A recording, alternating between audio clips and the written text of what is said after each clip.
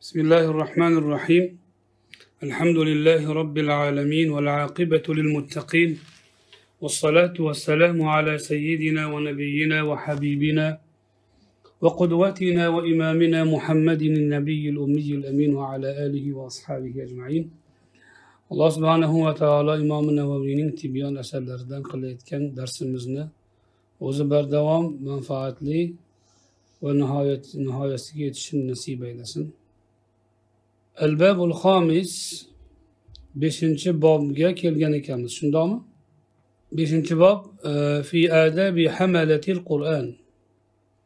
Qur'on homillarining odoblari haqida. Yuqorida ham o'tdi. Bu yerda hozir e, yuqorida tolib sifatidagi odoblar o'tdi. Ustoz sifatidagi odoblar o'tdi. Endi homil sifatidagi odoblar. Ya'ni qur'onni egallash uchun tolibi ilm bo'lgan paytdagi odoblar qur'oni karimni xizmati uchun ustoz bo'lgan paytda kishining ustoz sifatidagi odoblari o'tdi endi yuqorida. O'shalar homil qur'onni odoblari jumlasiga ham kiradi ba'zilari. Endi xos bob imom navaviy alohida bob ajratyaptilar. Bu mana hozir qur'on homillarining odobi to'g'risida degan gapidan bilamizki ayni kitobni mag'ziga va asosiy mavzusiga yetib keldik. Chunki kitobni nomi nima? Attibiyan fi adabi hamalatil qur'on qur'on homillarining odobi to'g'risida bayon. Endi qur'oni karim homili sifatida ya'ni o'rganuvchi va o'rgatuvchi emas qur'oni karimning sohibi sifatida nima odoblar kishida mujassam bo'lishi kerak? Chunki o'rganuvchilik muayyan zamonda bo'ladi to'xtaydi. O'rgatuvchilik ham muayyan zamonda bo'lishi mumkin to'xtashi mumkin yoki ma'lum zamondan keyin boshlanishi mumkin. Ammo homil bo'lishlik bu kishida doimiy sifat qur'oni karimga ega bo'lgan kishining doimiy sifati. U o'rganishni davom ettiradimi davom ettirmaydimi? U o'rgatuvchilik vazifasini bajaradimi bajarmaydimi? Bundan qat'iy nazar qur'on egasi bo'lgani nuqtai nazaridan. qur'on sohibi bo'lgani e'tiboridan qur'oni karimning sharafini saqlashi uchun qur'oni karimga loyiq inson bo'lishi uchun kerak bo'lgan odoblarni endi zikr qiladilar وقد تقدم جمل منه في الباب الذي قبل هذا ushbu bobdan oldingi bobda bu masalalardan ya'ni qur'oni karim homillarining odoblaridan bir qanchasi o'tdi endi yana qo'shimcha va ta'kid uchun ba'zi odoblarni aytadilar أن يكون على أك ومن آدابه أن يكون على أكمل الأحوال وأكرم الشمائل qur'oni karim homilining odoblaridan quyidagilardir birinchisi eng mukammal holda va eng oliyjanob fe'li atvorda bo'lish. Hol nima desa hol bu yerda tashqi holatini ham nazarda tutish mumkin qalb holatini ham nazarda tutish mumkin. Shamail akramu shamail shamoil fe'l atvor. Eng oliyjanob fe'l atvor. Shunchaki yaxshi odam emas oliyjanob bo'lishi kerak. Qur'oni karim homili doim yuqori darajadagi axloq va odobga yuqori darajadagi odamiylik insoniylik sifatlariga ega bo'lishi kerak. Qur'on shuni talab qiladi. Shundagina u qur'onga munosib bo'ladi. Qur'onni yodlab qo'yib pastkash ishlarni qiladigan bo'lsa tuban axloqlarga yuz tutadigan bo'lsa bir bachkana insonlar bilan tenglashadigan bo'lsa u qur'onni toptagan bo'ladi. qur'oni karimni odobini buzgan bo'ladi og'ir gunohkor bo'ladi وأن يرفع نفسه عن كل ما نهى القرآن عنه إجلالا للقرآن الكريم ikkinchi sharti ikkinchi odobi qur'oni karim homilining qur'oni karim qaytargan narsalardan o'zini baland tutishi ularga qur'oni karim qaytargan narsalar past axloqlar yomon ishlar bo'ladi. O'shalardan qur'on qaytargan. O'sha past axloqlar yomon ishlardan o'zini yuqori tutsin. Masalan birov mol talashsa tenglashib mol talashmasin. Yer talashsa yer talashmasin. Uy talashsa uy talashmasin. Obro' talashsa obro' talashmasin. Shuhratga birov mukkasidan ketsa u shuhratga ko'ngil bermasin. Birov mol uchun pul uchun dunyo uchun yo bir mansab uchun harakatlansa u unday pastkashlikka bormasin. Va hokazo. Gunoh qilsa boshqalar gunoh qilmasin. Boshqalar o'yin kulgi qilsa ular bilan tenglashib o'yin kulgi qilib e, tubanlikka yetmasin. Balki o'zini qur'oni karim qaytargan narsalardan yuqori tutsin. Buni hayo deyiladi. Shar'an va aqlan durust bo'lmagan narsadan o'zini tortish tortinishni hayo deyiladi. Shar'an va aqlan durust bo'lgan narsadan ham o'zini tortish bo'lsa u hajal hijolatpazlik deyiladi. Bu yomon axloq hajal hayo yaxshi axloq. Shuning uchun o'zini noloyiq narsalardan tortish bu hayo. Ammo loyiq balki munosib balki lozim narsalardan ham tortinchoqlik bo'lsa bu hajal bo'ladi. O'ziga ishonchsizlikdan yoyinki yaxshilik bilan yomonlikni ajratolmaslikdan bo'ladi. Bu yomon axloq bo'ladi. Ya'ni hayo yaxshi axloq hajal yomon axloq. Bu yerda aytilayotgan hayo qur'oni karim qaytargan narsalardan o'zini baland tutsin qur'oni karimga hurmat yuzasidan. Qur'on nimalardan qaytargan masalan qur'oni karim e, deylik mast qiluvchi ichimlikni ichishdan qaytargan ota onaga uf deyishdan qaytargan. Odamlarga yuzini burishtirishdan qaytargan. Odamlarga ovozini ko'tarishdan qaytargan. Ovozingni past qil degan. Yer yuzida kekkayib yurma degan kekkayib yurishdan qaytargan. Va hokazo. Molga dunyoga muhabbat qo'yishdan qaytargan. Xiyonatdan qaytargan. Rasul. Alloh va rasuliga xiyonat qilmang. Yolg'ondan qaytargan tuhmatdan bo'xtondan qaytargan. Bu qavla zur uydirma gapdan qaytargan. Va hokazo. Shirkdan ollohdan boshqasiga sig'inish va topinishdan qaytargan. Mana shu va hokazo. Qur'oni karim qaytargan narsalardan o'zini yuqori tutsin o'sha qaytarilgan yomon ishlarga tushib qolmasin keyingisi uchinchi odob وأن يكون مصونا عن دنيء الاكتساب شريف النفس مرتفعا على الجبابرة والجفاة من أهل الدنيا shuningdek pastkash ishlar bilan pul topishdan o'zini saqlasin tilanchilik qilishga o'xshash odamlarga borib hojatini aytib pul undirishga o'xshash. O'zini kasal ko'rsatib sog'odaman pul hosil qilishga o'xshash. Yoki kishilarga yordam qilaman deb birovlardan pul olib o'zi yeb qo'yishga o'xshash. Yoyinki e, deylik o'sha jamiyatda odamlar qiladigan quyi tabaqadagi axloqlar qo'shiq aytib pul topishga o'xshash. Ishlarni qilmasin. E, bundan o'zini saqlasin. Sharifun nafs ya'ni nafsiyati sharofatli bo'lsin ya'ni sharaf tuysin o'zidan o'zini past darajaga olmasin murtafian alal jababirati val jufati min ahli dunyo dunyo ahlidan zo'ravon va qo'pol dag'al kishilarni ustidan yuqori tursin o'zidan sal o'tkirroq odam kelsa sinib bo'yni egilib qolmasin balki har qanday? Zo'ravon har qanday? Manmansiragandan yuqori tursin. Bu degani undan kibr qilsin degani emas. Lekin unga sinmasin degan. Ya'ni o'zidan zaiflik zaif yasamasin. Tushundingizmi?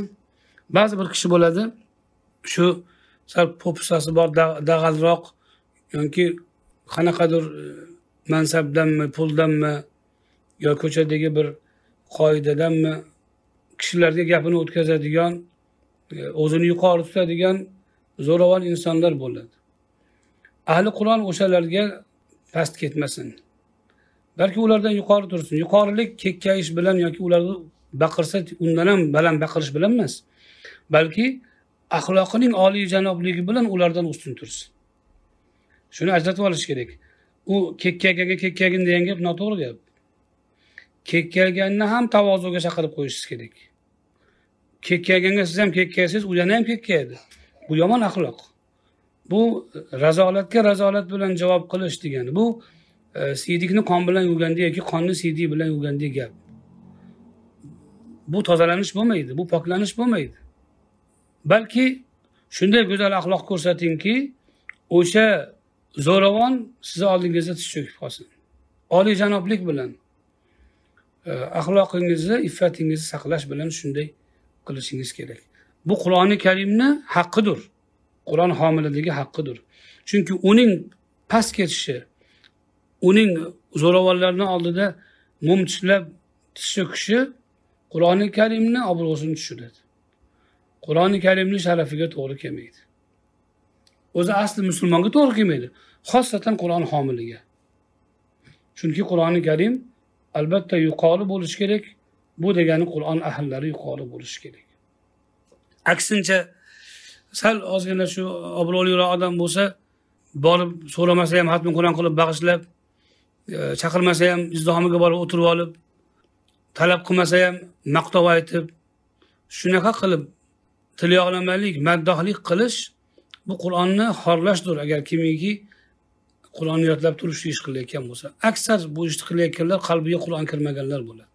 Balki hammasi. Qur'onni yo yodlamagan bo'ladi qoraka bo'lib tanilib olgan bo'ladi. Asli qur'onga homil bo'lmaydi. Shunday qiladigan pastkash kishilar axloqi shunaqangi e, laganbardor kishilar ah, asli qur'on homili bo'lmaydi. Yoki lafzini yodlab olganu qur'on uni qalbiga hali ma'nosi bilan kirmagan bo'ladi. Kimiki qalbiga qur'oni karim lafzu ma'nosi bilan joylansa nuri bilan hidoyati bilan joylansa u hargiz o'zini past oluvchi quyi oluvchi bo'lmaydi. Ya'ni ojizlik bo'lmaydi unda. Unda axloq yuqori bo'ladi go'zal bo'ladi. Gohida siz ko'rasiz qoraka bo'lib tanilib qo'ygan kishilarni yoki shunaqa bir ahli ilm bo'lib tanilib qo'ygan kishilarni. Ko'rasiz ular shunaqangi tilyog'lama bo'lib qoladi. Bilingki ular qur'on homili emas. Kimiki qur'on homili bo'lsa haqiqiy unaqangi pastkashlikka bormaydi. Lekin kimiki qur'onni yodlab turib ham shu ahvolga tushgan bo'lsa agar demak u qur'oni karimni amaliga muvaffaq bo'lmagan qur'onga amal qilmaydigan va qalbidagi qur'onni xorlayotgan kishidir. Qur'oni karimni lafzlarini ya'ni. Ammo qur'oni karim ma'nolari bilan joylansa kishi bunday yomon axloqqa bormaydi. Yana keyingi sifati keyingi odobi yakuna lis solihina va ahlil xayri val masakin. Solih kishilar yaxshilik ahllari va miskinlarga tavozuli kamtarin bo'lsin. Hokisor bo'lsin. Ojizroq odamni ko'rsa baqirib maviza qilib uni po'pisa qilib sal e, zo'ravonroq yoki boyvachoroq odamni ko'rsa unga tavozu qilib tabassum qiladigan munofiq bo'lmasin. Tilyoqlama bo'lmasin. Balki aksincha unga ham bunga ham go'zal axloqda bo'lsin xususan miskinlarga kambag'allarga nisbatan qanotini past qilsin mutavozi ya'ni kamtarin bo'lsin. Mutavozi degani o'zini quya olish degani bu gapni nima uchun aytyaptilar. Chunki kishi agar miskinni hurmat qilsa miskinda sizga manfaat yetadigan narsa bo'lmaydi. Miskin sizga yordam qilmaydi. Yordamga muhtoj bo'ladi. Maqtov aytsa maqtovini ham jabroq eshitib olmaydi miskinni. Miskinni hurmat qilayotgan kishi nima uchun ulug'lanadi shariatda? Payg'ambarimiz alayhissalom miskinlar bilan o'tirishni yaxshi ko'rardilar kambag'allar bilan yurishni yaxshi ko'rardilar. Nima uchun? Chunki miskinda unga yaxshi muomala qilgan kishiga qaytadigan moddiy yaxshilik yo'q. Demak unga yaxshilik qilayotgan unga bir muruvvat qilayotgan uni oldida o'zini hokisor tutgan kishi bu insonni hurmat qilayotgan inson bo'ladi. Insonni insonligi uchun e'zozlayotgan kishi bo'ladi. Ana shu axloqi uchun u ulug'lanadi. Ammo bir odamni boyligi uchun hurmat qilsa bir odamni mansabi obro'si uchun e'zozlaydigan bo'lsa u asli insonni hurmat qilmaydigan pastkash. U mansabparast molparast bo'ladi. Shuning uchun mansab va mol ahllarini hurmat qilib e'zozlaydi. Ularni ham o'zi inson bo'lgani uchun emas moli uchun molidan mansabidan manfaatidan tama qilgani uchun o'sha narsalar nuqtai nazaridan hurmat qiladi. Mansabdorni ham mansabi borligi uchun emas. Ya'ni uni mansabdorni ham shaxs sifatida hurmat qilmaydi. Balki mansabi uchun hurmat qiladi. Puldorni ham inson sifatida e'zozlamaydi puli uchun e'zozlaydi. O'shandan bir manfaat yetib qolsa yoki birorta e, shu zarardan o'zimni ehtiyot qilaman deb pastkashlik qiladi. Bu kishining manfaatxo'rligining dalolati. U insonlarga insoniy axloq bilan emas o'zining xudbinona manfaatxo'rligi bilan muomala qiluvchi pastkash kishi bo'ladi.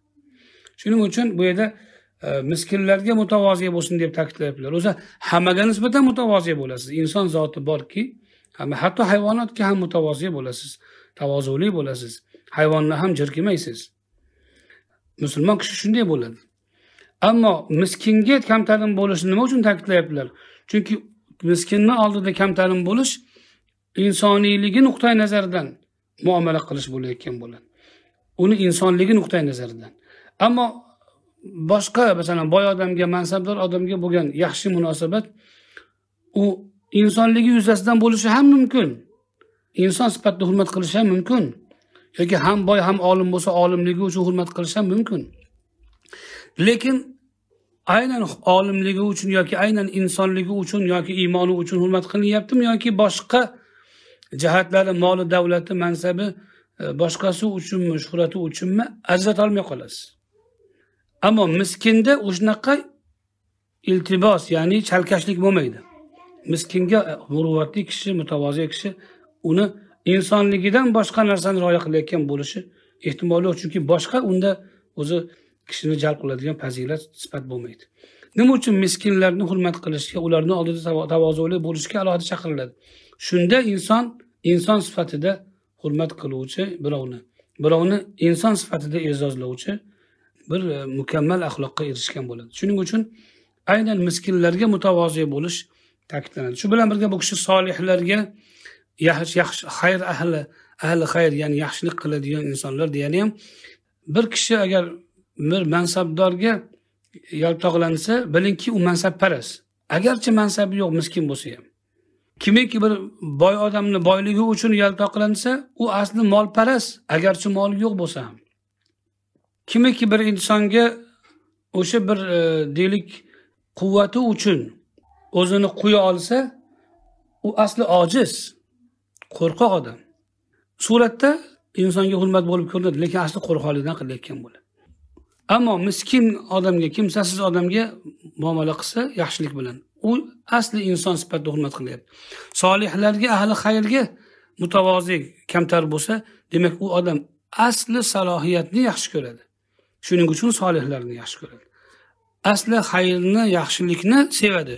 shuning uchun yaxshilik ahlini yaxshi ko'radi ularga mutavoziy bo'ladi kishining yaxshilik istashi yaxshilarni e'zozlashi ya'ni kishining yaxshilik istashi yaxshilarni e'zozlashida ko'rinadi insonni hurmat qilishi miskinlarni e'zozlashida miskinlarga shafqatli bo'lishda ko'rinadi shuning uchun bu axloqni alohida ta'kidlab aytyaptilar فقد جاء عن عمر بن الخطاب رضي الله عنه وأن يكون mutaqashshian za sakinatin va vaqor yana bir odob qur'on homilini odobi xushuli bo'lsin ya'ni alloh subhanahu va taolodan qo'rqib tursin doim qo'rquvi uni harakatlarida nigohida so'zida o'zini tutishida sezilib tursin sun'iy emas tabiiy qalbida qo'rquv bo'lsin xushu deb haybatlanib qo'rqishni aytiladi.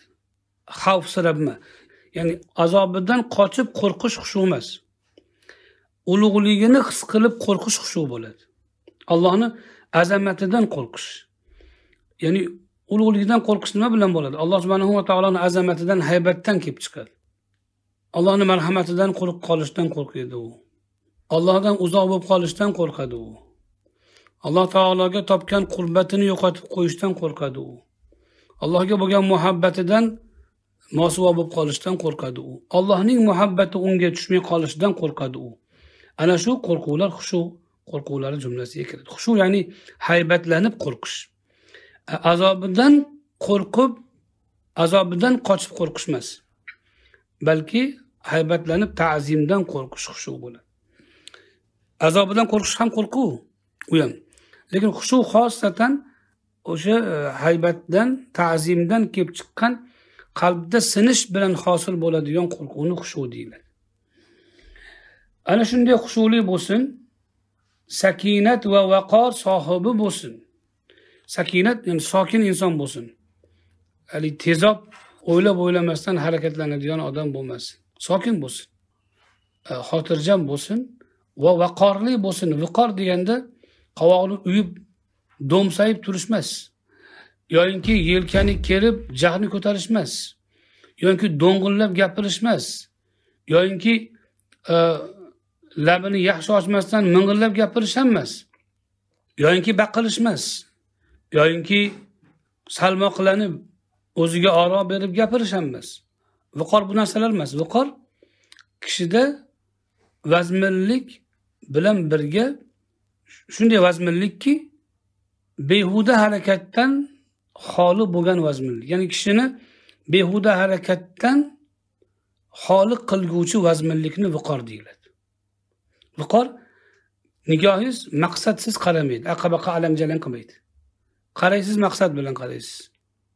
Yaxshilik bilan. Dovdirab emas. Qo'lingiz bekordan bekor u yoq bu yog'ingizni qashib o'tirmaysiz. Maqsad bilan harakatlanadi. Oyog'ini likillatib o'tirmaydi. Balki maqsad bilan harakatlanadi. E, tushundingizmi? Og'ziga kelgan kelmaganini gapiravermaydi valdirab. Balki maqsadli va manfaatli gap aytadi. Kishining harakatlari a'zolaridagi harakatlar manfaatli va maqsadli bo'lgan paytda paytda va shunga cheklangan paytda unda viqor hosil bo'ladi. Ammo qovoqni uyib olish do'msayib o'tirish bu viqor emas bu. Viqorli kishi sertabassum bo'lishi mumkin. Rasuli akram alayhissalotu vassalom eng sertabassum va eng viqorli kishi bo'lganlar. Oysha roziyallohu anho bilan masalan yugurishda musobaqalashganlar. Yugurish maqsadli va manfaatli bo'lgani uchun ana shu yugurish e, viqorga halol qilmaydi. Ammo bir kishi nojo'ya yugurib tez tez yurib haligi bir hayajon bilan yugurayotgan bo'lsa maqsadsiz hayajon bilan iztirobdan yugurayotgan bo'lsa viqor bo'lmaydi u. Viqorga halol yetadi. Maqsadli yugursa harakatlansa manfaatli harakatlansa kishi viqorli bo'ladi. Demak homili qur'on qur'on qorisi viqorli bo'lsin. Bekardan bekar kuladigan hiring hiring qiladigan yengiltak bo'lmasin. Ma'nili ma'nisiz gapni aralashtirib gapiradigan bemaza bo'lmasin. Alang jalang qiladigan anqov bo'lmasin. Qo'l oyog'ini qimirlatib o'tiradigan bir e, yengiltak bo'lmasin har bir harakati maqsadli va manfaatli bo'lsin. Har bir harakatni maqsad va manfaatga cheklovchi vazminlikni viqor deyiladi. Demak qur'on homili ana shunday viqorli bo'lsin. Mana bu yuqoridagi sifatlar qur'oni karim homilining doimiy umumiy holat. Eng go'zal ahvolda eng go'zal axloqda bo'lishi hmm? Tuban axloqlardan tuban ishlardan o'zini yuqori tutishi hmm, past e, kasblardan o'zini yuqori tutish. Shuningdek mutakabbirni oldida sinmaslik. Balki viqor bilan unga ham javob berish va tavozuli bo'lish e, va allohdan qo'rqib turish doimo allohni muroqabasida turish va e, viqor bilan sokin bo'lish mana shu qur'on homilining doimiy axloq. Bir lahza ham ajramaydigan axloq. Axloq kishida sifatun rosihatun deb aytishadi. Kishining qalbida nafsida ruhida shakllanadigan tebranmas sifat axloq bo'ladi. Ammo bir kezi kelganda sokin bo'lib fe'li kelib qolsa jirillaydigan bo'lsa u axloq bu shakllanmagan bo'ladi hali.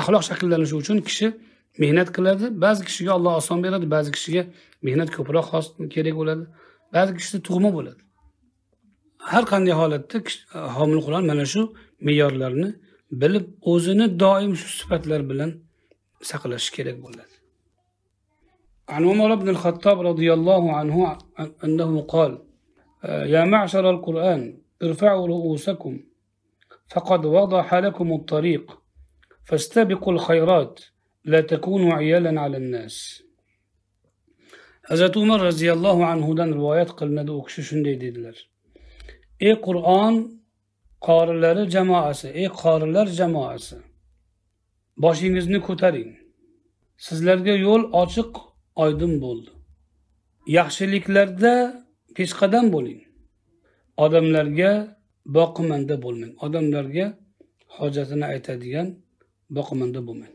Odamlarga yuk bo'lmang. Bu so'zlarda hazrati umar roziyallohu anhu go'zal bir nasihatda aytganlar bu yerdagi ey qorilardan murod aslida qur'on qorilari shu bilan birga barcha ahli ilm. Chunki ilgarida qur'on ahllari hammasi ahli ilm bo'lishgan. Qur'on bilan birga hosil qilingan ilm. Shuning uchun orangizda eng qur'onni ko'p bilgan kim desa falonchi desa o'sha odam shariy ilmlarda ham eng olim bo'lgan. Chunki qur'oni karimni oyatlari atrofida o'rganilgan barcha shariy ilmlar. O'shuning uchun besh oyat o'n oyatdan olishgan. Bizlarga ikki oyat yodlashgan emas. Besh oyat oladi ma'nolarini tushunadi har bir kalimani mohiyatiga yetadi undagi ahkomlarni o'rganadi qaytariqlar buyruqlarni anglaydi. Va alloh subhanahu va taoloning o'sha oyatlardagi maqsadini o'rganadi. Va ularni hayotiga tadbiq qiladi keyin keyingi beshga oyat beshta oyatga o'tadi. Shunday o'qishgan sahoba ikromlar shuning uchun qur'oni karim oyatlari bilan birga o'zlashtirilgani uchun chunki hamma ilmlar qur'oni karimni atrofida aylanadi. Faqat qur'oni karimdan chiqarib olishga bizni aqlimiz yetishi kerak. Ilmimiz yetishi kerak xolos. Biz aksincha qur'onni tarallatib o'qiymiz yodlab olamiz e, birorta oyatidan bizda bir ma'no yo'q e, maqsad tushunilmagan. Endi yoshlik bo'lsa tushunsa bo'ladi. Ajam bo'lganimiz uchun ham tushunsa bo'ladi. Lekin keyin ham bo'lsa buni ma'nolariga yetib borishga harakat qilish kerak. Chunki bizda sahoba ikromlardagi salohiyat ulardagi lug'at ulardagi imkoniyat yo'qligi uchun biz oldin yodlab olib yoshlikda keyin ma'nolarini hosil qilishga majburmiz. Lekin mutlaqo qur'oni karimni ma'nosi bilan ishi bo'lmasdan shu lafzni o'zi bilan kifoyalanib yurish kishini noqis qilib qo'yadi. Lekin bu yerda aytilmoqchi ey qorilar degandagi ey qorilar jamoasidagi qorilardan murod ey ahli ilmlar chunki barcha ilmlar qur'oni karim bilan birga olingan. Ey ahli ilmlar deb turib bu kishi uchta nasihat aytdilar. Birinchisi boshingizni ko'taring yo'l sizga aniq bo'ldi. Boshingizni ko'taring yo'l sizga aniq bo'ldi degani nima degani? Desa bu yerda boshni ko'tarishdan murod ya'ni past ketmang. Boshqalardan o'zingizni ost kam tamlamang o'zingizni noqis pamlamang boshingizni ko'taring. Qaddingni ko'tar deb qo'yamiz. Biz shu ma'noda tushunish mumkin. Ikkinchi ma'noda tushunishimiz mumkin. Boshingizni ko'tarib yo'lga qarang degani ya'ni qarang oldingizga kelajakni ko'ra oling. Va nima qilishingizni odamlar ham nima qilish kerakligini ko'ra oling degan ma'noni ham tushunsa bo'ladi. Ya'ni sizlarga yo'l aniq bo'ldi boshingizni ko'taring degani ya'ni siz ilm egasi bo'ldingiz. Odamlar ko'rmaydigan narsalarni ko'radigan bo'ldingiz boshingizni ko'taring o'zingizni ojiz pamlamang birinchi ma'no. Ikkinchi ma'no yo'l ochiq bo'ldi aniq bo'ldi boshingizni ko'tarib qarang yo'lga endi. E, ya'ni yuring endi boshingizni ko'tarib ya'ni qadam bosing qarang oldingizga degan ma'noda tushunsa ham bo'ladi. Endi o'sha boshni ko'tarish yo'lni ravshan bo'lishi nimaga olib keladi desa yaxshiliklarda peshqadam bo'lishga olib keladi. Shuning uchun fa bilan beryaptilar binobarin yaxshiliklarida peshqadam bo'ling. Ya'ni boshingizni ko'taring degani kekkayib yuring ko'chada degani emas burningizni ko'tarib degani emas u. U boshingizni ko'taring degani yelkangizni kerib qoshingizni ko'tarib o'tiring degani emas. Yo'q bu yerdagi boshingizni ko'taringdan murod o'zingizni ojiz pamlamang balki yaxshiliklarda musobaqa qilib peshqadam bo'ladigan darajaga chiqing. yaxshiliklar qur'oni karim yaxshi deb aytgan narsalar va yomon deb aytgan narsalardan tiyilish. Ana shu narsalarda bu nima degani? Masalan sadaqotlarda odamlarni sadaqaga buyurib o'ziz baxil bo'lmang. Odamlarni ibodatga buyurib o'zingiz dangasa bo'lmang. Kishilarni talabi ilmga chaqirib o'zingiz maishatparast bo'lmang. Kishilarni sunnatga chaqirib zuhudga chaqirib o'zingiz dunyoparast bo'lmang. Kishilarni kamtarlikka chaqirib o'zingiz mutakabbir bo'lmang. Kishilarni allohga tavakkul qilishga chaqirib o'zingiz boshqalarga tayanib yurmang. Balki o'sha yaxshiliklarda o'ziz peshqadam bo'ling. Iymonda tavakkulda qalb sifatlarida go'zal axloqlarda ibodatlarda o'zingiz peshqadam bo'ling. Chunki yo'l sizga ravshan. Boshqalar bilmasligi mumkin amallardagi fazilatlarni va yaxshilik yomonliklarni farqini boshqalar bilmay qolishi mumkin. Nima qilib yaxshi inson bo'lishni ham ko'pchilik bilmaydi. O'zini nazdida yaxshi bo'ladi ammo asli yaxshiliklar nimaligini ko'pchilik bilmaydi. Sizda yo'l ochiq aniq ravishda nima yaxshi nima yomon ko'rib turibsiz siz peshqadam bo'ling. Bu peshqadamlik boshingizni ko'tarishingiz shu bilan bo'ladi. Bu yetakchi qiladi sizni. Siz boshqalarni yetalang. Boshqalar ortingizdan o'sha yaxshiliklarga erishsin. Deganlaridan murod odamlarga yukini tashlaydigan odamlarni boqimandasi bo'lmang. Ya'ni odamlarni zimmasiga o'zingizni yuk qilib tashlamang. Bu nima uchun aytyaptilar bu gapni? Ko'pincha kishilar e, e, ilm bilan band bo'lsa qur'on bilan band bo'lsa tirikchilikka uncha vaqti qolmaydi. Shunda kishi agar qanoatni hosil qilmasa boshqa pul topayotgan ish qilib yurganlarni ko'rib men ham shunaqa bo'lsamu deb orzu qiladida endi unaqa boylikka shunaqangi imkonga erishish uchun e, kimlargadir yukini solishga o'tadi. Mana shundan qaytaryaptilar. Nimaga bu so'zni ta'kidlayaptilar? O'zi hech kim hech bir mo'minga munosib emas birovga yukini solish. Ammo bu kishi ahli qur'onlarga ta'kidlayotganlari qur'onga ega bo'la turib qur'on bilan bo'la turib boshqalarga ehtiyojingiz tomonki birinchidan qur'oni karimni sharafiga xalal yetkazgan bo'lasiz nafsingizda. Qur'oni karimni o'zini martabasi tushmaydi lekin kishilarni ahli qur'onga bo'lgan martabasi e, munosabati pastlaydi. Ikkinchi jihatdan siz ana shu boshqalarga yuk solishingiz bilan tamagirlikka kirasiz qalbingizdan ilmni nuri ketib qoladi.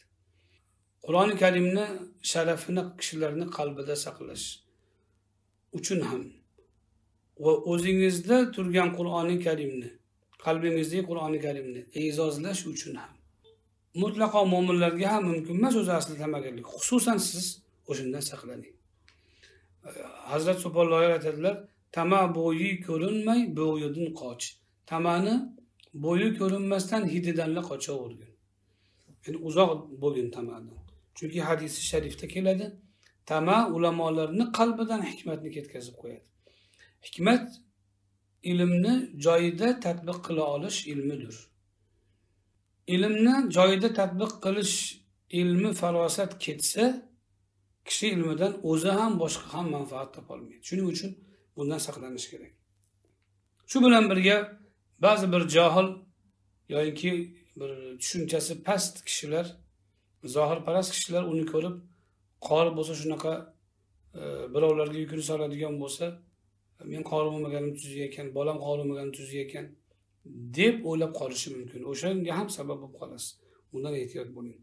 Balki qur'oni karim sohibi yuqorida aytilgandek sharafli nafsi sharif bo'lishi kerak. Yuqoridagi nasihatlarga hazrati umarni gaplarini keltirganlari yuqoridagi mavzuga taalluqli joyi mana shu oxirgi jumlasi odamlarga yuk bo'lmang deganlar.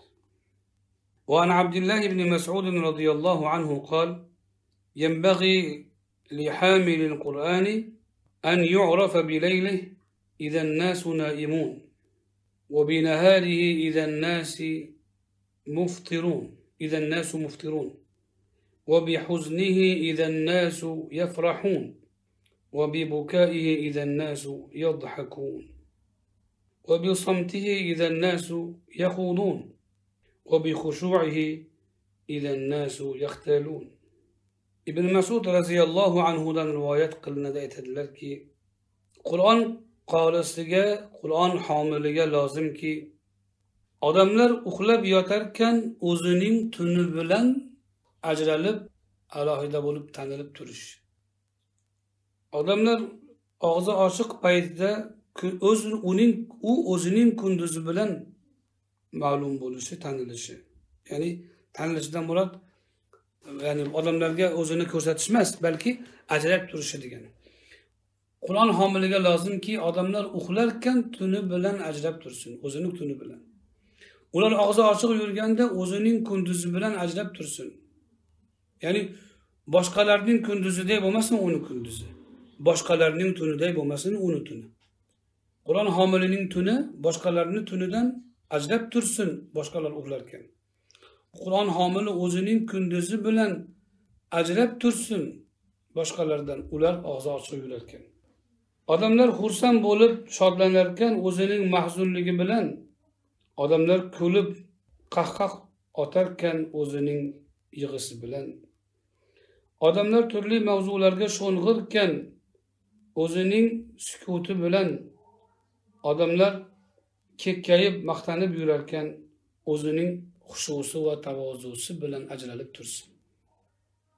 Mana bu sifatlarni ibn masud roziyallohu anhu qur'on homilining hosil qilishi lozim bo'lgan sifatlar deb aytyaptilar.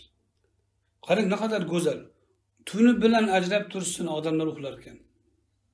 Qorining tuni hammaning tuni bilan bir xil bo'lmaydi. Odamlar uxlaydi u nima bilan ajraydi shunda? Bedorlik bilan tungi zikri bilan ibodati bilan tilovati bilan namozi bilan. Kunduzisi ham boshqalarni kunduzidan boshqacha bo'ladi. Qanday?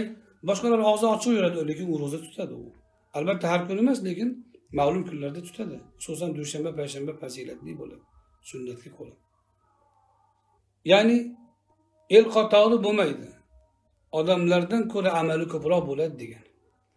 Odamlar shodlanib yurarkan u o'zining mahzunligi bilan ajrab tursin. Bu qovon solib o'tirish emas. Yuqorida aytganimizdek rasululloh sertabassum bo'lganlar. Mahzunlik sertabassumga sertabassum bo'lishga zid emas. Shuni tushunib olish kerak. Balki mahzunlikdagi tabassum yana ham shaxsiyatning quvvati va oliyjanoblikdan bo'ladi. Mahzunlik qovoni uyib o'tirish emas balki mahzunlik kishining qalbida bir e, g'am bo'lishi. U ham nima g'am bo'ladi? U albatta puli yo'qolib qolgandan yoki ish yurishmayotgandan emas balki u oxiratning g'ami bo'ladi. Balki u ollohning vasliga yetish g'ami bo'ladi. Ollohning roziligini topish g'ami bo'ladi.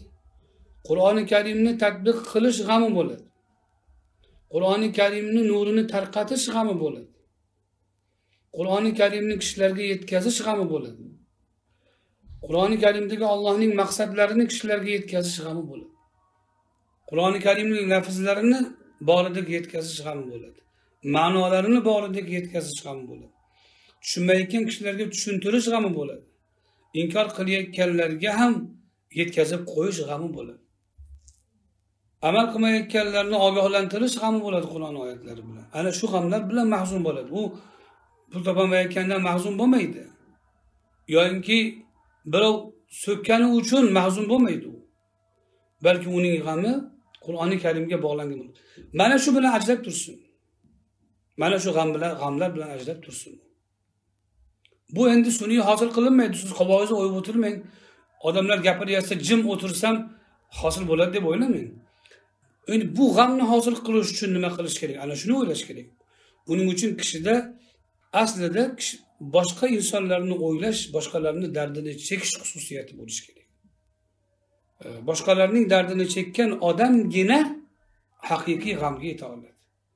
Birovni dardini chekmagan o'zim bo'lsam bo'ldi deydigan man o'zim tinch bo'lsam bo'ldi deydigan man e, tevaragim to'kis bo'lsa bo'ldi e, man sog' bo'lsam bo'ldi deydigan odamda hargiz bu aytilayotgan g'amlar bo'lishi mumkin emas. Bu g'am qalbning xususiyati qosh qovog'ining xususiyati emas. Qalb islom bo'lsa qalb kishilarning musibatlariga achinadigan bo'lsa kishilarga yaxshilik istaydigan bo'lsa kishilarga yomonlik yetishishidan ozorlanadigan bo'lsa qalb ana shu qalbda keyin yuqoridagi g'amlar hosil bo'ladi. Odamlar beg'am yurgan paytda qur'on homili ana shunday g'amgin bo'lsin. Rasuli akram alayhissalotu vassalomni sifatlaridan biri doimiy mahzun doimiy tafakkurda edilar deyiladi. Lekin eng sertabassum kishi edilar. Eng bag'ri keng kishi edilar. G'amim o'zimga yetarli deb turib torlik qilayotgan bo'lsa u g'am oxiratniki emas. U dunyo g'ami u nafs g'ami hammani o'ziga tashvishi yetarli. Boshim og'ritma deyaptimi? U u tashvish nafs tashvishi u. U dunyo g'ami u. Bu yerda aytilayotgan g'am mahzunlik undan emas. Bu yerdagi g'am oxirat g'ami. Insonlarning tashvishi. Bu bu mahzunlik kishilarni g'amini ko'tarishni kishilarni tashvishiga bosh qotirishni man qilmaydi balki ayni shundan kelib chiqadi. Hatto hazrati mashlab aytganlaridek parvardigor agar mumkin bo'lganda edi boshqalarni gunohi uchun birov azoblanishi mumkin bo'lganda edi hamma bandang jannatga kirsinu hammasini azobini menga yuklaver derdim degan. Albatta bu faraz xolos. Lekin shu qadar insonlarga yaxshilik istardim degan. Ollohni qadariga qarshilik ham emas allohning hukmiga e'tiroz ham emas balki kishilarga yaxshilik istash va kishilardan yomonlikni daf qilishga bo'lgan istakning ifodasi bu. Ana shu g'amni aytadilar bu yerda. Bu ayni rasuli akram alayhissalotu vassalomni sunnatlari va rasululloh sollallohu alayhi vasallam o'zlari shunday bo'lganlar. Bu yasalgan emas. Allazi anqada zahrak belingizni sindirgudek yukni biz sizdan oldik degandagi yukdan murod nima deganda ulamolar insoniyatni g'ami deyishgan. Johiliyatda kishilarni insonlarni ko'rib halokatga yuz tutayotganlarini bularni qanday qutqarish mumkin? Bularni najoti qayoqda qanday hosil bo'lar ekan qanday qilib bularni qutqarsa bo'lar ekan degan g'am rasuli akram alayhissalotu vassalomda nubuvvatdan oldin bo'lgan. Nubuvvat kelib vahiy kelib u kishiga ularga najot yo'lini ko'rsatish hidoyati nozil qilinganda ana shu g'amni biz sizdan ko'tardik deb aytgan olloh u g'am rasuli akram alayhissalotu vassalomni bellarini sindirgudek bo'lgan ekan.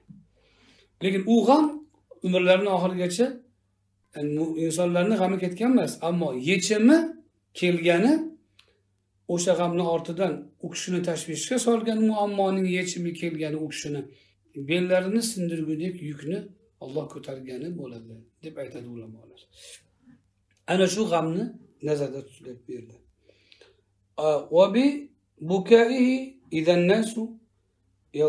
odamlar kulib qahqaha otib yurarkan u o'zini yig'isi bilan ajrab tursin.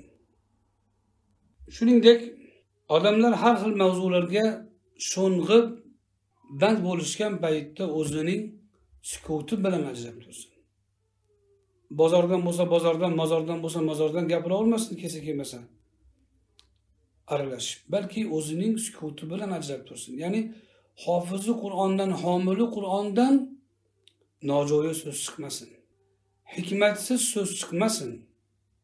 Salmoqsiz so'z chiqmasin. Maqsadsiz so'z chiqmasin. Balki uning har bir so'zi bir go'zal fikr bo'lsin. Har bir so'zi hikmat bo'lsin. Har bir so'zi salmoqli bo'lsin. Shuning uchun aytiladiki oqilning oqilligi oqilona gap aytganidan emas. Ya'ni oqilning oqilligi aqlli gap aytganidan belgilanmaydi balki noaqilona so'z aytmasligi bilan belgilanadi.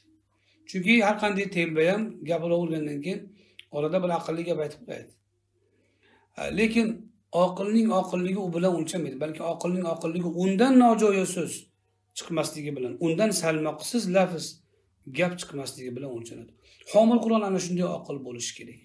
Odamlar har xil mavzuga kirib aljirab o'tirgan paytda qo'shilib aljiramasin balki o'zining sukuti bilan ajrab tursin. Shuningdek odamlar maqtanib kekkayib o'zini ko'rsatib yurarkan ko'chalarda odamlar o'zi bilan o'zi maqtanarkan kekkayarkan u mutavozi bo'lsin xushuli bo'lsin. Bu xushudan murod alloh subhanahu va taoloni qo'rquvidan hokisorlik qalbdagi nafsdagi sinish hosil bo'lishi.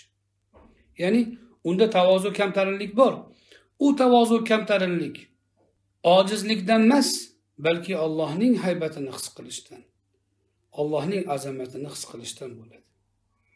Mana shu sifat ham homil qur'onda bo'lishi kerak. Bu sifatlar qorining homil qur'onning tuni kuni o'ziga xos bo'lishi uning o'ziga xos mahzunligi yig'isi sukuti va xushusi bo'lishi doimiy sifatlardir.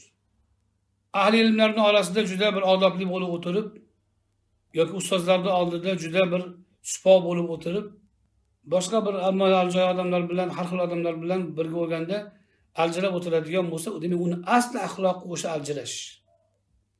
Faqat ahli ilmlarni oldida uyat bo'lmasligi uchun o'zini obro'sini saqlash uchun o'zini illatini yashirib o'tirishga kuchi yetayotgan aqli yetayotgan odam lekin u axloq hisoblanmaydi. Axloqli fazilatli kishilarni oldida og'ir vazmin bo'lib johil bilan yuzlashgan paytda unga tepa teng bo'lib vaysaydigan e, so'kinadigan aytishadigan badxulq bo'lsa demak asli uni xulqi shu. Axloqli kishilarni oldida yarasini yashirib o'tirgan bemor u. Xolos. Lekin uni illati o'ziga o'xshaganlarni oldida yuzaga chiqayotgan bo'ladi. Shuning uchun axloq agar nisbiy bo'lsa axloq hisoblanmaydi. Qaysi bir sifatki nisbiy bo'lsa axloq emas. Siz masalan deylik e, kimlarnidir oldida kamtarinsiz? Boshqa yerda mutakabbirlik qilyapsizmi? Hatto kelingizga mutakabbirlik qilyapsizmi? Asli mutakabbirsiz. Shogirdingizga mutakabbirlik qilyapsizmi? Asli mutakabbirsiz. Faqat boshqalarni oldida o'sha illatingizni yashirib o'tir yashirib turishga kuchingiz yetayotgan sal pal aqli bor odamsiz. Ammo aslo yaxshi axloq egasi emassiz. Bu sifatlar doimiy bo'lishi kerak. Shuning uchun aytiladiki diskotekaga kirganda o'nga tushgan odam o'zi asli buzuq odam. Faqat u masjidda o'tirgan paytda yoki domlalarni oldida o'nga tushmayotgan paytida ularni uyat qilishidan o'ziga or yetishidan hijolat bo'lib o'zini tiyib o'tirgan odam. Yoyinki o'zini chiroyli ko'rsatish uchun shunday munofiqona harakat qilayotgan odam bo'ladi. Yomon odamlarni orasida yomon bo'lib ketyaptimi? Asli ichida yomonlik bor. Pastkash odam bilan bo'lganda pastkash pastkash bo'lib ketyaptimi? Asli ichida pastkashlik bor. Badxulq odamga ro'para bo'lganda xulqi yomonlashib ketyaptimi? Asli ichida shuni ham turishi bor. To'g'ri bir biriga bir biridan ta'sirlanish bo'ladi. Lekin o'sha yuzaga chiqishi kishining zamirida o'sha yomonlik borligidan dalolat. Aslida u solih bo'lsachi diskotekada ham unga tushmaydi u. U yerdagilarni yaxshilikka chorlashi mumkin. Gunohdan qaytarishi mumkin ammo o'zi gunohga tushmaydi. Fisku fujurni orasiga kirsa ham fisku fujurga yurmaydi balki ularni ezgulikka chorlaydi. Zolim bilan qo'shilsa zolim bo'lib ketmaydi zolimni zulmdan qaytaradi. Mutakabbir bilan bo'lsa kekkayib ketmaydi. Mutakabbirni tavozuga chaqiradi. Ana shu kishi homil qur'on bo'ladi. Shu kishini axloqi haqiqiy axloq deyiladi. A mana shu kabi yuqoridagi sifatlar birovlarni oldida o'tirganda yasaladigan sifatlar emas. Balki asli qalbda hosil qilinishi kerak bo'lgan sifatlar ular.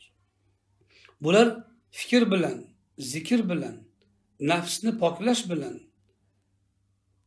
ezguliklarni qilish bilan odamlarga yaxshilikni o'ylash va bajarish bilan hosil bo'ladi. Xudbinlik bilan manmanlik bilan o'zini o'ylash bilan o'zini yayratish bilan ovora bo'lish bilan bu sifatlarga hosil ega bo'lib bo'lmaydi. Demak homil qur'on ana shunday vazmin ana shunday go'zal axloqlar egasi bo'ladi. Bu yerdagi aytilgan sifatlar qalb sifatlar. Homil qur'onni qalbi ana shunday go'zal bo'ladi. وعن الحسن بن علي رضي الله عنهما قال إن من كان قبلكم رأوا القرآن رسائل من ربهم فكانوا يتدبرونها بالليل ويتفقدونها في النهار. hasan ibn ali roziyallohu anhudan rivoyat qilinadi aytadilarki sizlardan oldingilar ya'ni tobeinlarga qarab aytyaptilar oldingilar deyishdan murod sahobalar. Sizlardan oldingilar qur'oni karimni robbilaridan kelgan maktublar deb bilishardi. Tunlari uni tadabbur qilishar kunduzlari esa uni izlashar edi yo'qlashar edi degan. Ya'ni sizlardan oldingilar ya'ni sahoba ikromlar deyaptilar. Chunki hasan roziyallohu anhu yosh sahobalardan. Sizlardan deb xitob qilayotganlar tobiinlar tobiinlarga qarab aytyaptilarki sahobalar rasuli akram alayhissalotu vassalomni ashoblari qur'oni karimni alloh subhanahu va taolodan kelgan maktub deb bilishardi. Shunchaki o'qib tashlab qo'yiladigan yoki harfiga savob bo'lsin uchungina o'qiladigan vosita emas balki allohdan kelgan xitob topshiriq tavsiyalar buyruqlar deb bilishardi maktub deb bilishardi. Podshodan agar bir viloyat hokimiga yoki bir e, shaxsga yoki bir mansab egasiga xat kelsa qanday munosabat bildiradi? Yoki bir kishiga otasidan xat kelsa safarda yurgan farzandga otasidan bir maktub kelsa qanday munosabat bildiradi? U o'qib qo'ysa bo'ldimi? Yoki yodlab qo'ysa bo'ldimi? Yo'q. Balki u maktubdan murod uning maqsadlarini maktub yozganning maqsadlarini hosil qilish bo'ladi. Maktubdan maqsad bo'ladi. Xuddi shuningdek qarashardi qur'oni karimga. Alloh subhanahu va taolodan kelgan maktub deb bilishardi. Shuning uchun uni tunlari tadabbur qilardilar kunduzlari uni tadbiq qilardilar. E, tunlari tadabbur qilishlari tadabbur nima degani? Tadabbur oyatlarning zohirini fahmlash emas balki ortidagi ma'nolarni ham idrok etib maqsadni murodni anglash. Tadabbur so'zi dubur so'zidan olingan. Dubur degani orqa degani. Lafzning zohirini bilsangiz u fahm bo'ladi tadabbur bo'lmaydi. Uni ortidagi maqsadni topa olsangiz o'sha tadabbur bo'ladi. O'sha maqsadni topishga urinish tadabbur bo'ladi. Masalan alhamdulillahi robbil alamin alloh olamlarni robbi allohga hamd bo'lsin shunday deb tushunish bu fahm bu tadabbur emas bu. Lekin nimaga shunday deb boshladi? Nimaga hamd bilan boshladi olloh nimaga? O'zining olamlarni robbi ekanini zikr qilyapti bu yerda. Nima uchun bizga namozimizga buni qo'yib berdi? Nima uchun qaytib qaytib aytishni bizga vojib qildi? Nima uchun qur'oni karimni shu lafz bilan boshladi? Kabi savollarni ortidan shularni javobini topa olsa hamd o'zi nima? Hamddan maqsad nima? Nima uchun olloh hamdni yaxshi ko'radi? Nima uchun hamd yeru osmonni to'ldiradigan savob bo'ldi? Hamd yeru osmonni to'ldiradi dedilar. Nima uchun? Nimasi bilan to'ldiradi? Ovoz bilan emas. Yoki harf bilan emas. Nimasi bilan to'ldiradi? Mana bu narsalarni tadabbur qilib oyatni ortidagi maqsadlarni kishi anglay olsa shu tadabbur bo'ladi. Shuni o'ylash shuni ishlab inson o'ylab qalbi bilan bu narsani idrok etsa shu shu tadabbur bo'ladi. Ammo namoz o'qing degan u degan bu degan degan gaplarni takrorlab yurish yoki lug'atni bilib olib bilan lafzlarni zohiriy ma'nosini tushunish bu tadabbur bo'lmaydi. Shuning uchun ashobi kiromlar tobeinlar va ulamolarimiz salaflarimiz hammalari qur'oni karimni ko'p xatm qilganlar turlarda nima uchun? Tadabbur uchun. Esdan chiqarib qo'ymayin deb emas balki tadabbur qilardilar. Chunki tunda sokinlik bo'ladi. Kishining fikri chalg'imaydi boshqa narsaga. Uxlab hayolidagi fikridagi asosiy narsalardan boshqa kundalik mashg'ulotlar chiqib ketgan bo'ladi. Birovdan xafa bo'lgan bo'lsa ketgan bo'ladi xursand bo'lgan bo'lsa arigan bo'ladi. Boshqa narsalar tuyg'ular uyqu bilan kesiladi. Va ko'p narsalar unutiladi. Shunda kishini qalbida sokinlik aqlida xotirjamlik uyg'oqlik bo'ladi. Shuning uchun tunlarida tadabbur qilishgan. Chunki tadabburga o'sha vaqt nafs o'sha vaqtda ruh o'sha vaqtda bunga layoqatli bo'ladi ko'proq. Tunlari qayta qayta o'qirdilar aksar sahobalar har hafta xatm qilishardi qur'onni. Nimaga? Bir marta o'qib qo'yib tushunmagan yo har safar yangi ma'no tushunishardi ular. Tadabbur shunday bo'ladi. Bugun alhamdulillahi robbil alamindan bitta ma'no topadi. Ikkinchi marta alhamdulillahi robbil alamindan ikkinchi boshqa ma'noni topadi. Alhamdulillahi robbil alamindan uchinchi ma'noni topadi. U lafzlarda emas lafzlar aniq. Hamd lillah robbi al alamin. To'rtta kalima. Ma'nosi aniq. Uni ortidagi ma'nolarni tadabbur qilib har safar yangi ma'no kashf qiladi. Ana shuni tadabbur deyiladi qur'oni karimni nima uchun har hafta aylantirganlar? Har safar yangi ma'nolarni kashf qilganlar. Ana endi tunlarda buni qilishlarini boisi qalb sokin bo'lgani ruh uyg'oq bo'lgani uchun. U yolg'iz olloh bilan qolib tadabbur qilishgan. Ya'ni yolg'iz ollohdan ilhom olishgan. Ahli qur'on shunday bo'ladi. U faqat izdihomda o'qiydigan odam emas u. Yoki ramazon kelsa bir xatmiga o't berib keyin xohlagancha yashaydigan odam emas u. U homil qur'onlik maqomiga loyiq emas u inson. Balki homil qur'on tunlari tadabbur qiladi. Robbilaridan kelgan maktub deganlarini ma'nosi shu ya'ni olloh nima istayapti bu oyatdan bizga shu shu oyatda aytishdan? Nima demoqchi? Nimaga bu so'zni takrorladi? Nimaga ayni shu yerda aytdi boshqa surada nimaga boshqacharoq aytdi va hokazo tadabburni cheki yo'q. Shuning uchun o'n yillab yigirma yillab ellik yillab xatmi qur'on qilganlar oxirgi xatmlarida ham qur'onni yangitdan tushunavergan yangi ma'nolarni kashf qilishavergan. Endi o'sha kashf qilgan ma'nolar ularga shunchaki zavq bergan xolosmi yo'q. Kunduzlari o'shani kechqurungi anglagan ma'nolarini kunduzlari amalda tadbiq qilganlar. Kunduzlari o'sha kechqurungi ma'nolariga yasha yarasha yashaganlar keyin. Ana u kishilar qur'oni karimni haqiqiy homillari bo'lgan. Ana u kishilar ikki oyog'ida yuradigan qur'onlar tirik qur'onlar bo'lishgan. Ularga qaragan kishi qur'onni ko'rgan. Ular bilan yashagan kishi qur'onni yashagan. Ular qur'onni faqat o'qib eshittiruvchilar emas qur'onni yashab beruvchilar bo'lgan. Faqat aytib ma'no aytib qutuladiganlar emas qur'oni karimni hayotida yashab beruvchilar bo'lishgan. Hasan ibn ali roziyallohu anhu ana shu ma'noni aytyaptilar. Sizlardan oldingilar yangi sahoba ikromlar ana shunday bo'ladi sahobalarga ergashish. Sahobalarga ergashish deganda siz kiyim kechakni tushunmang faqat. soqol mo'ylovni tushunmang faqat faqatgina shu ba'zi masalalarni ko'tarib baqirib qo'yishni o'zi emas sahobalarni yo'li balki sahobalarni yo'li shu qur'oni karimni kechalari o'qib tadabbur qilish kunduzlari uni hayotida yashab ko'rsatish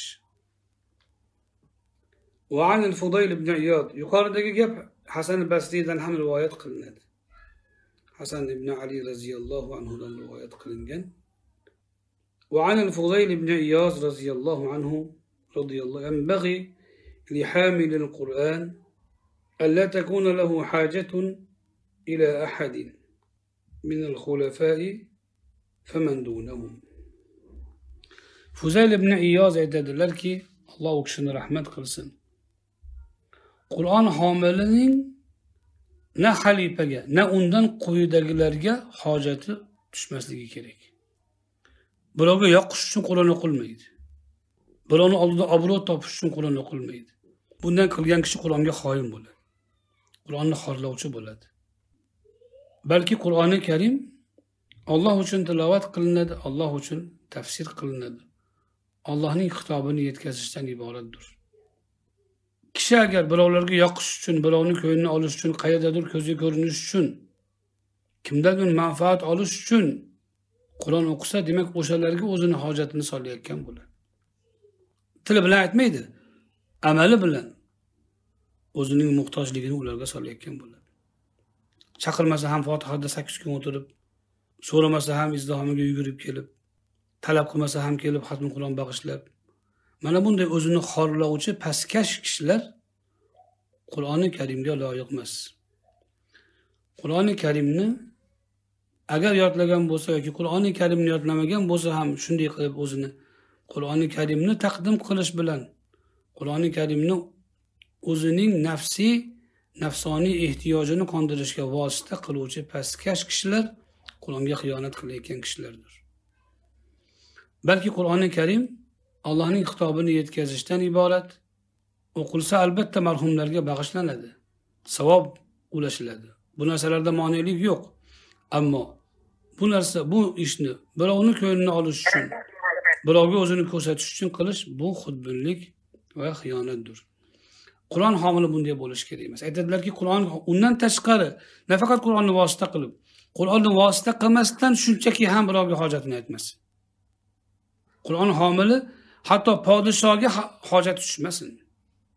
Podshoni yonida ham behojat tursin. Nima xizmat taqsir desa sizga xizmat yo'q desin. Palon ishni qilib bering piston ishni qilib bering deb birov bilan tanish bo'lishdan foydalanmas. Birovga hojatini tushirmas. A birov muruvvat qilsa qabul qilishi mumkin. Birov unga hadya qilsa qabul qilsin. Birov xizmatini qilaman desa mayli qabul qilsin. Ammo muhtoj bo'lib ko'rinmas.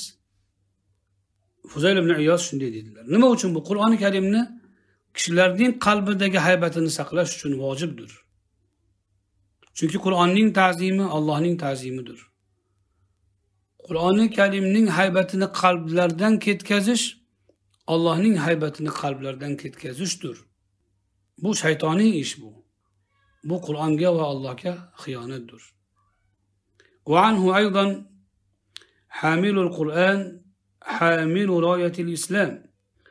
لا ينبغي أن أن يلهو مع من يلهو ولا يسهو مع من يسهو ولا يلغو مع من يلغو. تعظيما لحق القرآن.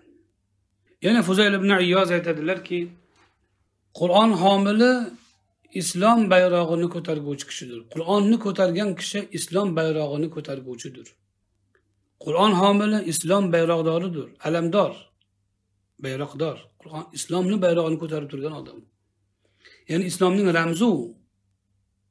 Shuning uchun ko'ngil hushi qilayotgan kishilar bilan qo'shilib ko'ngil hushi qilmasin. xatokorlar bilan qo'shilib xatokor bo'lmasin. Lag'u behuda narsalar bilan bandlar bilan qo'shilib behuda narsaga sho'ng'imasin qur'oni karimga ta'zim yuzasidan shunday qilsin. Aytadilarki ya'ni qur'on homili islom bayrog'ini ko'tarib turguvchidir. Qur'onni ko'tarib turgan kishi islom bayrog'ini ko'targuvchidir.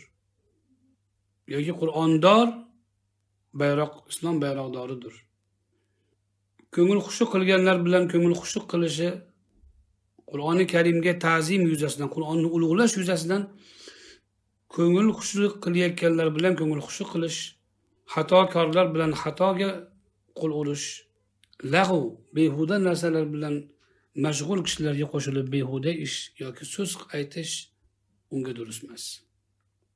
Shuning uchun hamma o'ngga tushsa o'ngga tushavermasin hamma laqillasa laqillavermasin balki u qur'oni karimni hurmatini saqlab tursin. Uni shaxsi mayli nima bo'lsa bo'lar. Lekin odamlar unga qaraganda qur'onga qaraydi. Chunki u islomni ramzi qur'onni ramzi qur'on ahli islom ramzi bo'lib qoldi. Endi o'shanga yarasha tutsin o'zini bu odoblarni har bir qur'on homili bilishi kerak va har bir qur'ondan nimadir yodlagan kishi bilishi kerak. Shogirdingizga qur'on o'qitar ekansiz mana shu odoblarni o'rgating. Siz yoningizda qur'onni o'qib chiroyli bo'lib o'tirib nariyoqqa chiqib olib bemazagarchilik qilmasin u. endi lag'uvdanki behuda gapdanki qur'onni hurmatidan qur'onni ta'zimidan behuda gapdanki o'zini olib qocharkan gunohdan erta qachon? So'kinishlardan haqoratlardan erta qachon olib qochish kerak o'zini ko'ngil xushuliklardanki o'zini chetda tutarkan gunohlardan kabiralardan chetda tutishi erta qachon unga lozim? Sahu bilmasdan qilinadigan xatolardanki o'zini chetda tutishi kerak ekan bilib turib gunohlarga qo'l urishi unga mutlaqo mumkin emas. Qur'on homili ana shunday afif iffatli shunday go'zal axloq egasi bo'lishi lozim bo'ladi. Go'zal ibn iyozni gaplari qarang naqadar go'zal naqadar buyuk. Sizlardan talab qilinadigan narsa darslarni yozinglar yodlanglar man so'rab qolishim mumkin. Hasan ibn ali nima deganlar fuzal ibn iyoz nima deganlar. Mutolaasi borlar arabiy matnini ham qo'shib yodlasin. Inshaalloh shunda manfaatli bo'ladi. Biz doim aytamiz darslarni yozib yodlab borish kerak takrorlab turish kerak. Qachon bo'lsa qachon so'ralsa aytib bera oladigan. Qachon kerak bo'lsa kishini xotirida qalbida yonib turadigan ilm bo'lishi kerak. Har bir olingan ilm. shundagina u sizni harakatlantiruvchi kuch bo'ladi shundagina u sizni fikringizni to'g'irlaydi shundagina u sizni hayotingizga ma'no va ifoda kasb qiladi alloh subhanahu va taolo o'zi hammamizga buni muvaffaq aylasin سبحان ربك رب العزة عما يصفون وسلام على المرسلين والحمد لله رب العالمين